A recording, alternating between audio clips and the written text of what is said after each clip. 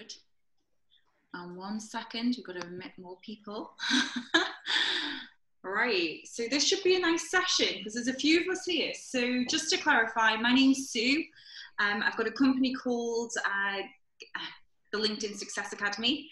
Today's session is about, it, it's really geared, I suppose, for, um, for people who are looking for that next job, that next level role and um, it, it's where you kind of you find that your CV, your resume, as the Americans would say, is is kind of getting stuck, you know, in HR. Okay, and it and it doesn't move to the the right people that need to see it. So I've got an agenda. but also what I like to do is I like to um, make this as much about you. So feel free to ask questions. So I don't know if you've seen some of the videos I've done in the past. Um, and what we do is we we basically um, you know ask questions. Okay, I, I you know if you've got a question as I'm going through, feel free. So the first thing that I want to talk about is if you are looking for that next level role, and I know things are very tricky out there at the moment with uh, Corona, and maybe you're just sick to death of hearing about it. Um, but the reality is, in my opinion, until there's a vaccine, we're just going to need to manage this new way of working.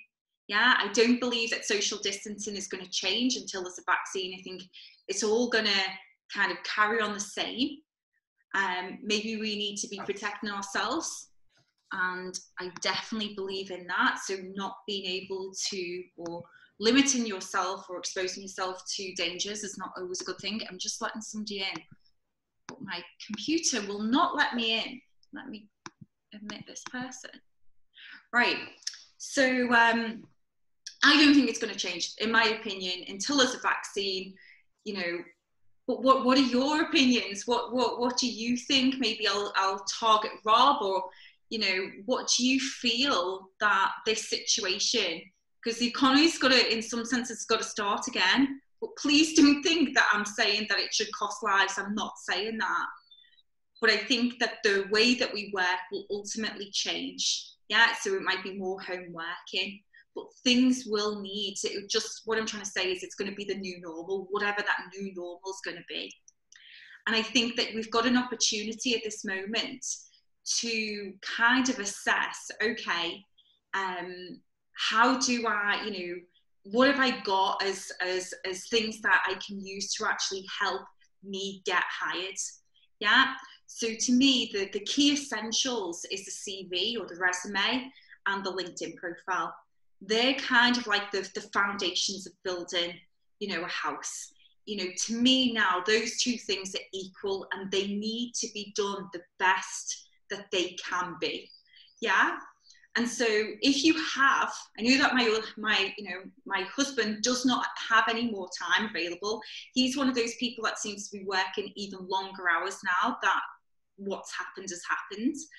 Um, but if you do find that you've got time, this could be a good opportunity to reassess where you are and what you want to do next.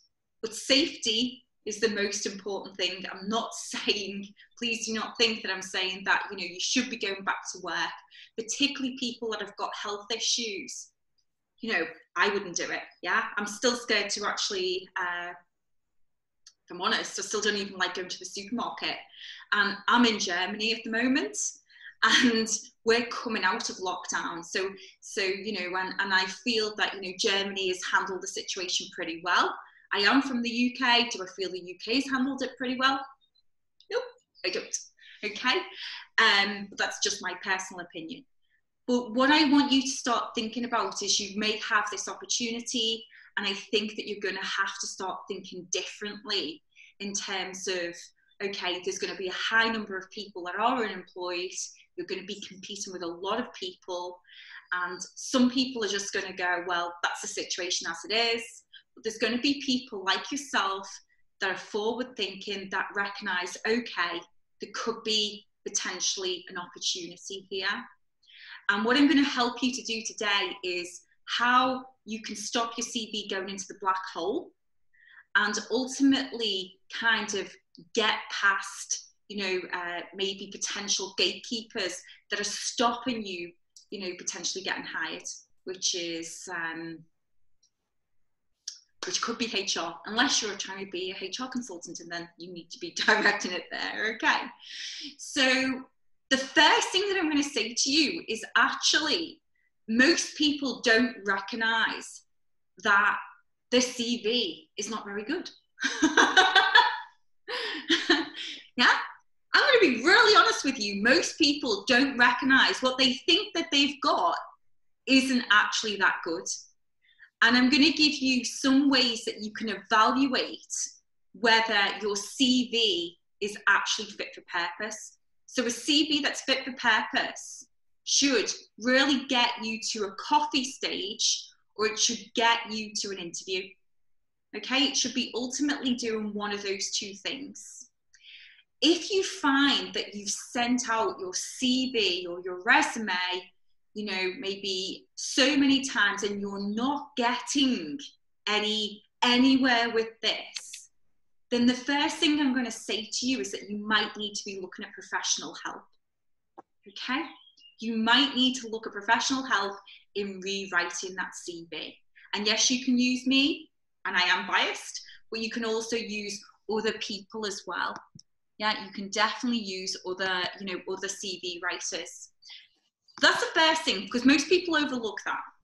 You need to evaluate is my CV fit for purpose? So, a good sign if it's not working is you just seem to be hitting this kind of um, this brick wall in some senses and, it, and you've been sending it out time and time again.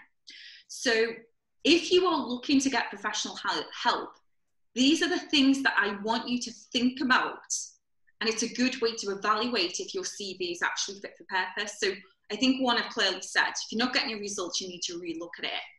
But number two is that most people make the mistake of writing a CV which is all about you. and you think, really, that shouldn't that be the case? Yeah? I bet most people think that a CV is all about them. What I've done, and it sounds obvious, yeah? And you're thinking, well, yeah, that's what I've always done. I've wrote about what I am because it's my CV. This is where I've worked. But actually, it's not about you. That's the weird thing. So the way that I come across it is that it's, you know, the way that you want to be looking at it is a completely and utterly different way and a different approach that you should be taking on board. And that approach is that you should be looking at the company and the position that you're going for and trying to work out what are the problems that company has and how you are ultimately the solution to the problems that they've got. So that makes it not about you anymore. It makes it about them. And that's the biggest mistake that I see people making time and time again. Yeah? Does anybody recognize what I'm saying, or does anybody disagree with this? Or what are your thoughts? I mean, feel free, you know, to speak. It is interactive. If anybody is brave. I think, um, Debbie Cobb, I think you're spot on, really. I mean, it's about tailoring the CV, I guess, for each individual role that you're doing. Yeah. Uh, yeah. I think, I think, I think it's really about taking the time to do that as well, because, um, you know, as we all know, it can be quite time consuming. You know, yeah. You're, yeah, you're totally right. And so, what people do, the mistake that they make is they just go, okay, I'm just going to send that CV off, this generic CV to every single role. And that's what most people do. And I totally understand why you do this because you've just hit the nail on the head. It's too time consuming. Mm. So, if I was creating your CV or your resume, what I do for you is I recognize this and I actually say to people, there is actually no such thing as the perfect CV or resume. I'm very honest, there isn't, because I'm sure that you've uh, that you experience this. You, you do your CV, you send it off to a couple of friends, and everybody's got a different opinion. and you're literally left going, "What the hell?" Now, somebody is. I'm gonna okay, I'm just going to read some of this. In my world, remote has been the assumed default of being on site very common. The future will have fewer exceptions, yeah, and then so this change modified resume. Will HR understand the value, or isn't it based on keywords? I disagree. I disagree that it's it's on keywords. I mean, I'm gonna I'm gonna talk about that. I'm not gonna be kind of the the politician in the room that doesn't answer the question, but I will answer that question shortly. But I think that you you nailed it on the on the head when you said time. Time is the issue. So when I create a CV for people, I'm very honest and I say, actually, there's no such thing as a perfect CV, but I'm going to get it as close to as humanly possible to the job that you're going for. And then what I'm going to do for you is I'm going to say to you, okay, I'm going to show you that you need to adapt this. But by the way, this is not going to take you a day or half a day, it's just going to take you 20 minutes. And if you can do this, yeah, then the reality is is that you are going to get more yeses than no's because 99.9% of people will not do this. Okay? They just don't. they just don't. Yeah? And we're talking high level people. We're talking people like yourself that are in high level roles, director level, and yet they're still making those common mistakes. So I recognize what you've said and and what i also do is i actually give you okay you know let me give you an example of what i mean is that one job description might say hey you need to focus more on b and another one might say you want to focus on x more whatever the x is and whatever the b is yeah so what we try and do as well is we create kind of like this content base where you can where you can just basically copy and paste and bang it in so this this thing starts happening very quickly. Now the reality is most most people don't do this. Yeah. The reality is most CV writers don't do this because it takes too much time. The reality is that most CV writers will send you a questionnaire. they don't actually even speak to you. Yeah. And then there's somehow management to figure out what it is that you are the solutions to their problems that you're able to do and they don't do this basically what they do and by the way this is a great way to evaluate if your cv is good or bad is look at the summary profile for me and the summary profile is normally just plain garbage. It's normally just talking about i'm this great person but instead of actually um, using factual information it's very much adjective based like i'm a great team player. Yeah? So when you are evaluating you know a cv writer you need to be asking the questions. You know does that cv writer actually have a conversation with me yeah um, does that cv writer really understand you know the problems that i ultimately solve in that company because let me be very clear to you you only get hired because there's a problem. If there's no problem, you do not get hired. Full stop. Yeah, and that goes for voluntary organizations as well. So, so this is the way that you need to be thinking about it. And this is Jill. Jill, hello. Is this Jill from? It is. Hello. Hello from Germany. I'm so sorry, but I used to work with Jill back in the day we're going to definitely have a chat later. so I was just talking about um, CV writing, and what I've just been talking about very quickly to summarize is that if you if you want to learn how to get your CV noticed and stop it going into um, the black hole, then the things that you need to be really thinking about is, you know, is my CV good? does it actually work? That's the first step. And most people miss this step out. They think what they've got is good enough. And what I'm asking you to do is ultimately go back to basics and be very honest with yourself and say to yourself, does my CV, my resume, does it does it really answer the questions that the company is is is, is wanting you to do. So, so again, very clearly, you only get hired because there's a problem. And ultimately, your CV needs to show the problems you solve. And that's the, that's the biggest advice that I can give you. The second thing that you need to be thinking about is if you've got a track record of sending something out and you are not getting anywhere, most people will say to themselves, it's because of my age. Yeah, they will, they will, they will look at it and go.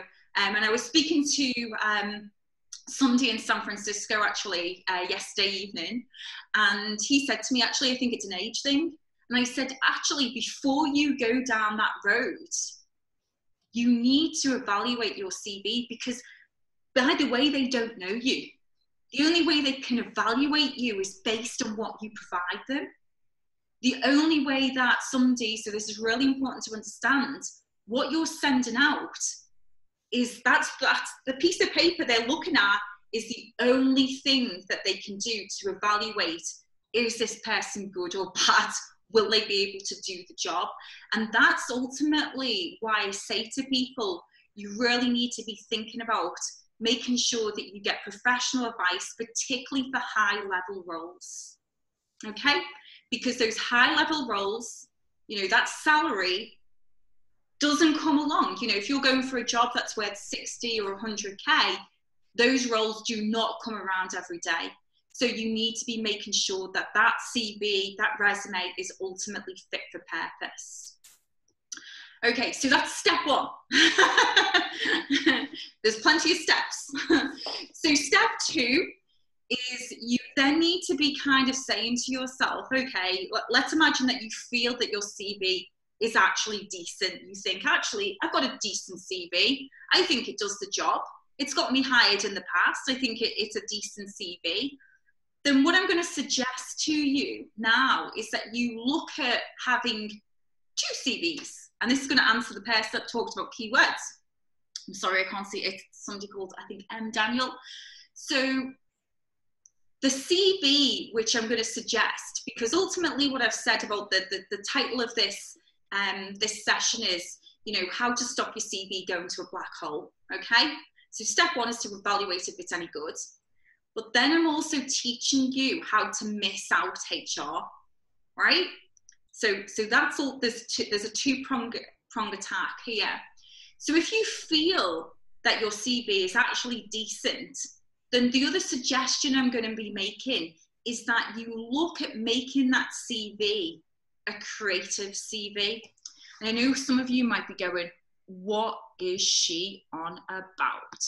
One second when I try and dig this up. So I had, ah, oh, so I thought I had it up. Oh, it looks like I didn't. Right. Ah, there it is. Okay, so something like this, a creative CV template is really useful, okay? But I'm going to be very honest with you, it's only useful if you are sending it direct to the hiring manager. Because if you send this to, for example, um, a recruiter or you upload it to a job site, they, they are going to be looking for those keywords, yeah? And this is too fancy. They use applicant tracking software you know, some of these companies use applicant tracking software. And because even though the CV is done in Microsoft Word, there's loads of color in it, there's loads of text boxes, it's simply not suitable. So I'm being 100% honest with you. But this CV is very useful if you, you know, this type of CV. I'm not saying it has to be this one, it could be, you know, anything like that, for example. Um, but something where you catch people's attention yeah, so let me again explain what I'm talking about. The reality is, is that these people are going to be, um, are going to have, you know, be sent a lot of stuff. Yeah, you know, they're going to, you know, your future boss, that's what I call them. They're going to be sent a lot of information.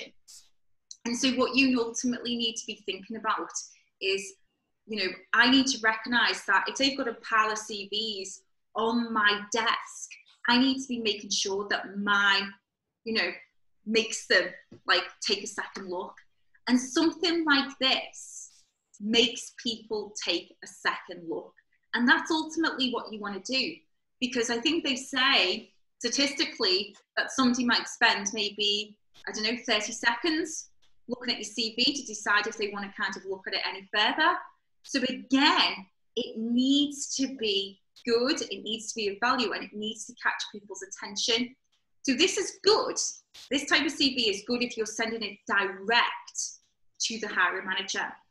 It is no good, let me make it very clear, if you are sending this, for example, to a recruiter because they want to own CV, they want to change it. they don't want to put your name and your contact details because the recruiter won't get their uh, their their money from you, yeah, their commission if they if they find you a job. So they're not going to do that. That's why this will not work. Okay, but this is good if you're sending it direct to the hiring manager. And again, this is something that I do that's different from probably most of the career coaches. Is that I provide you with two CV templates. I recognize the black and white one, your standard one is still relevant, but I also recognize that you do need to get people's attention. So I do provide this as well. Now, I'm not going to go on about this too much, but um, actually, anybody that, and I'll put this in an email when I send it out, this recording. But if anybody signs up, you get, I think it's six different CV templates. The 9.99, it all of it goes to charity. I'm actually giving that completely away. And if somebody does actually buy it, I actually send you the receipt I actually I think it's Venezuela. Um, there's there's there it's starving zoo animals. That's where it's going. Don't ask me why I picked that, but I just did. Okay. So anybody that buys that, that's ultimately I'll send you a receipt, and you can see that, that what you spent it's just all going to, the, to, to them.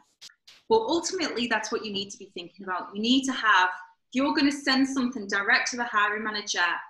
In my opinion, you need to get people's attention, and that looks the part. That's the point I'm trying to make. Okay, so let's carry on. I'm kind of wrote a couple of notes. right, okay. So back in the day, back in the day, do you remember that maybe 20 years ago that when we did CVs, that we simply used to uh, get the newspaper out, yeah, circle it, and then we would send our CV off for that particular job.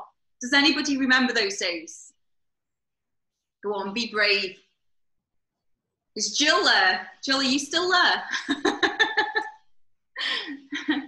well, I'm sure some of you do. Okay, so one of the things that you need to be thinking about is is is basically what I'm trying to say is those days we were very much okay. Um, the ownership or the the power was with the organization in some senses.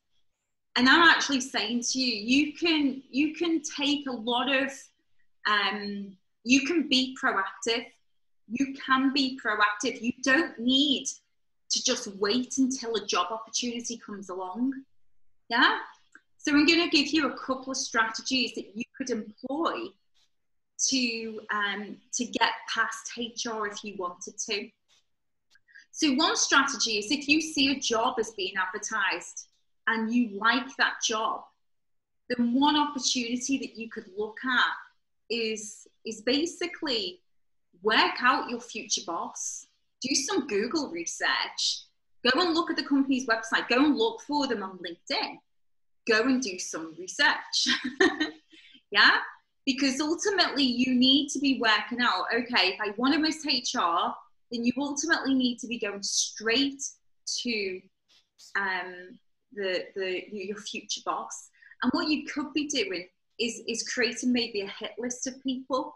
Okay, so there could be actual jobs that exist, and the other part could be that you know if a job did exist. So you've got two two branches here. Yes, it is time consuming. I'm not going to lie to you, but this could be a good way, a good strategy. But again, what why I've been so keen to kind of stress that your CV needs to look the part is because the new CV that you've got, we're going to use that CV and we're going to actually use that CV to target your future boss. And uh, you're going to also, you know, does everybody remember the traditional cover letter? Yeah the cover letter that you know you send along with your cv and a cover letter is very simply you know seeing your job advertised you know wherever on Reed yeah and so um, one of the things that you need to be thinking about is if, if that's the case, you know, that you've, you know, you've got your traditional cover letter, then you can create what I call the show and tell letter. And it's simply a one page document that goes with this new CV. And it could be the creative CV template that you use. And the way that I suggest that you do this is that you set out the show and tell letter. Um, and again, I'm a very different type of career coach. You know, I'm kind of, I like to think that I'm proactive. Yeah, this is this is what I've actually created. And so this show and tell letter that I've created, there's a framework that you can use. And the and the framework is really clever. It's the one of them I call it the bait. okay? The bait. So something, and I'll explain this in a second. I'm just going to go through the four parts: the bait, problem identification, the how you solve the problem, and the close. They're the they're the four key parts of um, a really clever show and tell letter. And the bait section is kind of like um, talking about, you know, what is, is praising them in some sense, okay, the company or that person. Yeah. So you've got to, I mean, let's be honest, how many times does somebody say to you, you've done a great job? Yeah. People often think it, but not a lot of times does it actually verbally be said. So if you want to get people's attention and get them on board, a good way is to praise that person and then the second part of it is is thinking about the problems that they, they have. And, and the third part is how you solve those problems. And the close is really to do with a clear call to action. That's what I call it. A clear call to action. What is it that you would like this person to do after they've read this document and you've got your CV there? And the thing that you want them to do, by the way, if you don't know this, is you want them to pick up the phone and have a conversation with you. And that is a very proactive approach. And it's a very clever approach that you can kind of look at. So, so this is called the show and tell letter. And again, if I was doing your, your resume, your CV, this is something I give to every single client. There is like at least three examples in this in this document and I set it out step by step in terms of how you do it. But I also provide you the traditional cover letter. And I kind of call it fill in the blanks because I've wrote the cover letter. you just have to kind of like put in the in the keywords that you know where the prompts. That's what I'm going to say. So these are clever. This is this is a clever way that I would say that you could start looking at kind of missing out HR you simply just you just miss out the middleman and you go direct to your future boss. So has anybody done something like this in the past? I'm sure you have, but maybe. Yes, I have. Um, you know, I've reached out to a couple of firms recently that I've, you know, felt I wanted to work for, and I've just sent a, a connection request or an, or sorry, the uh, LinkedIn InMail, I think it's called. Yeah, yeah, yeah. Um, yeah, yeah, So I've gone to them directly, and actually, it's come back with some interesting responses. Actually, I mean, they've not necessarily led to a role, um, but then you made a connection in the company. Yeah, so if they hire someone in the future, you're already on their radar. So uh, yeah, which is good. Yeah, I look so, at it as a long-term um, benefit. Yeah, yeah, and and so I would say that you now need to be thinking this creatively because there's going to be, or there is, a lot of you know, a lot of people that are going to be made unemployed or are made unemployed, and you need to be getting people's attention. Yeah. The the good news is is that most CVs and resumes are not that great. Okay, I'm being very honest, they're not that great. So even if you just were able to increase, you know, you know, take it up a notch, you would ultimately start to stand out. Yeah. So this is the approach that I would say that you could be looking at and the framework that you could also look at with regard to the show and tell letter. Yeah. It's bait. What have they done that is like, wow, you know, that you can give them some kind of praise for. And then, you know, what it, you know, what you think that the problems that they could have, how you can solve those problems, and then a clear call to action of what you would like them to do next. Yeah. But it all comes back to that CV. Yeah. Too many people think that what they've actually got is good. And actually, it's just very generic. It just talks a good game. It's just fancy adjectives. Whereas if I was doing a CV, I really like to do a lot of storytelling. I like to build the narrative of why you are ultimately the best solution to the problem that they've got. Any questions with what I've talked about? Anybody got any questions? No questions, Sue, but I've got to fly, so thanks so much. It's really useful advice. Take care. Not a problem. Lovely having you on the call, David. Thank you. Hopefully see you next week. Thank you. Anybody else? Anybody got any questions that they would like me to answer? Or anybody got any particular, you know, issues at the moment with the job search or maybe they're looking for that you want me to give you some advice? So I'm more than happy to do that as well.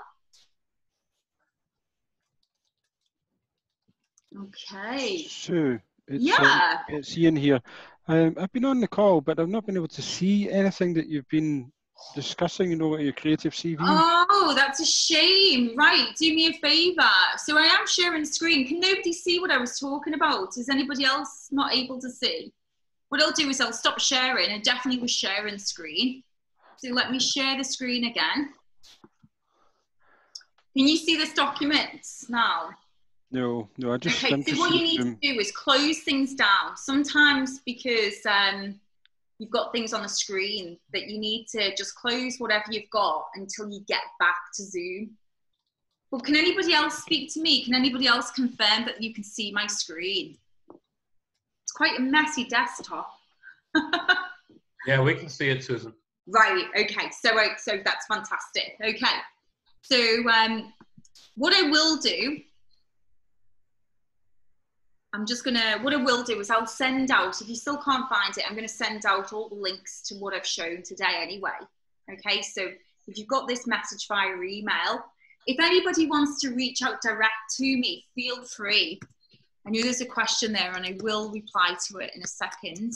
You can also just send in a message to my email, my personal email, which is Susan Burke, all one word, at live.co.uk.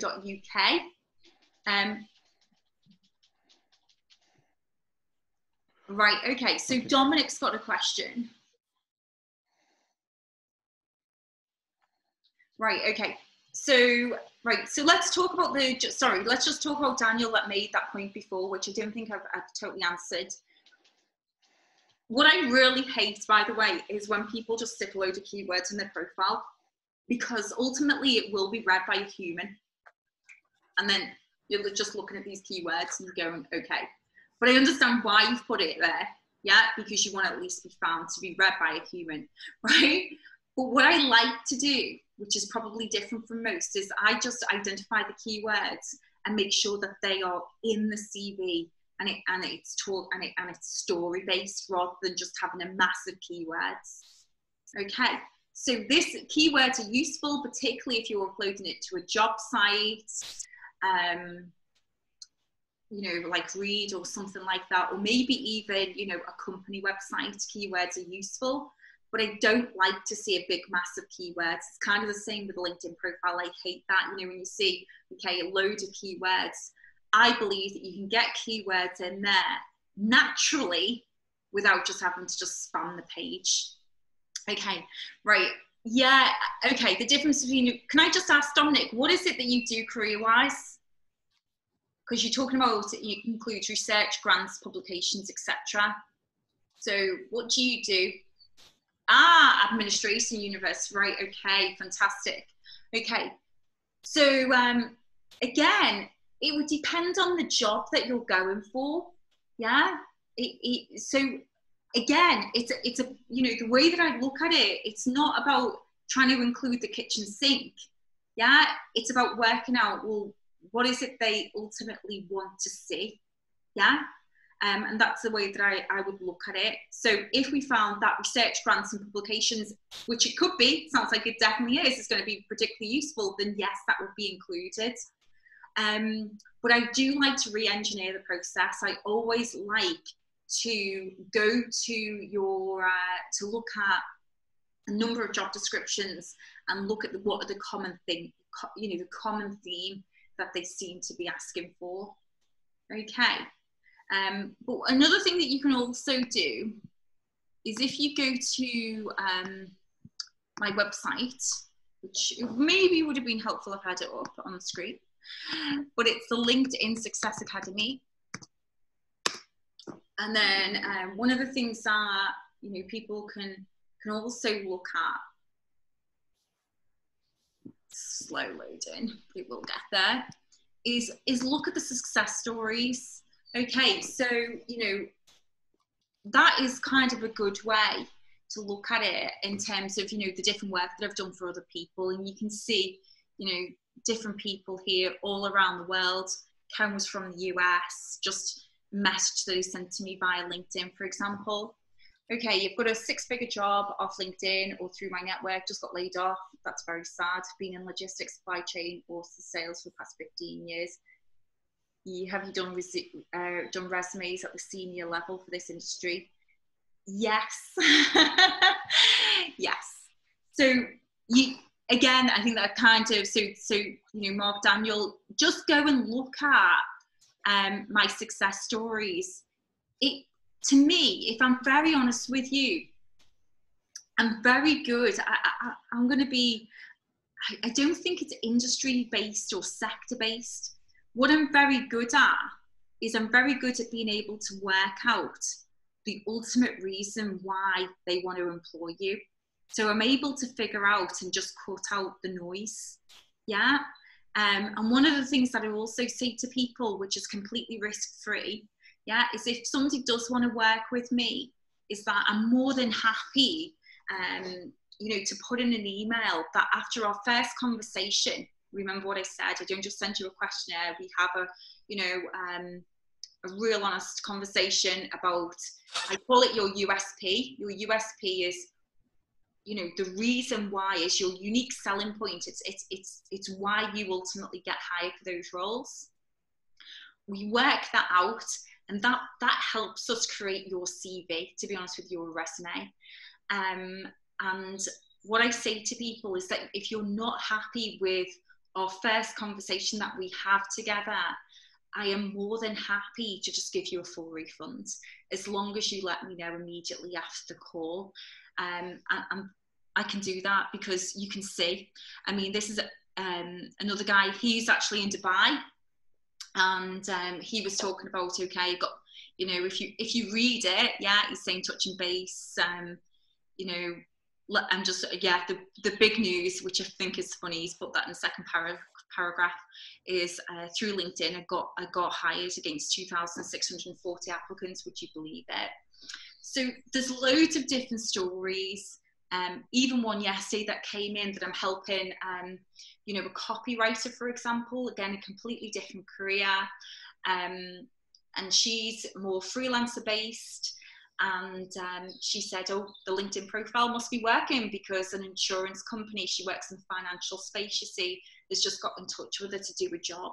Okay, but the I'll be honest with you, you know, I tend to only work with director level people, only for one reason because they're the only people that will pay me." I'm not gonna lie, okay? I am not gonna lie to you. Um, so you know, this is what I do day in, day out. Okay, so feel free. So, Mark, what I can offer is um, if you want to have a chat, it's complimentary. We can just have a one to one chat. If you're interested, we would just go from there. And that goes to anybody on this call as well. Okay. Is there is there anybody else that has got any questions? I know somebody's just joined us. Um, we're just about to finish. I do have another um, another um, webinar live one, but it's more aimed at freelancers and consultants, like I don't know, management let's see, um, management consultants, non-executives, IT consultants, finance directors. It's more aimed at those people that are looking for, you know, um, they go in and out of companies. Um, so if anybody's interested in that session, it's probably going to be starting in about an hour, but you'll get an email of when the next session is going to be. You're more than welcome to join that call as well. So I'll be doing two on a Thursday, um, but just a different target market in some senses. So um, if anybody wants to have a conversation with me, um, particularly for job search, it's, the, the session is called the breakthrough session to learn the one reason why you're not getting hired. And I know it's probably Corona, but we would look at okay, creating, you know, uh, you know, a, a real building block or plan of what you need to be looking at. Any other questions? And if Mark, you got an email today from me, there's there's actually a link in that email for you to book online for a free session, just so that you know. Any other questions? You're more than welcome to just speak out or stick it in the chat. It's entirely your choice. Well, thank you for your time. So um, hopefully, if you've got any questions, email me direct. You've got my email, Susan Burke at live.co.uk. Feel free. Otherwise, have a fantastic day. It's actually sunny here, so it's all good. Um, and hopefully see you next week. Take care.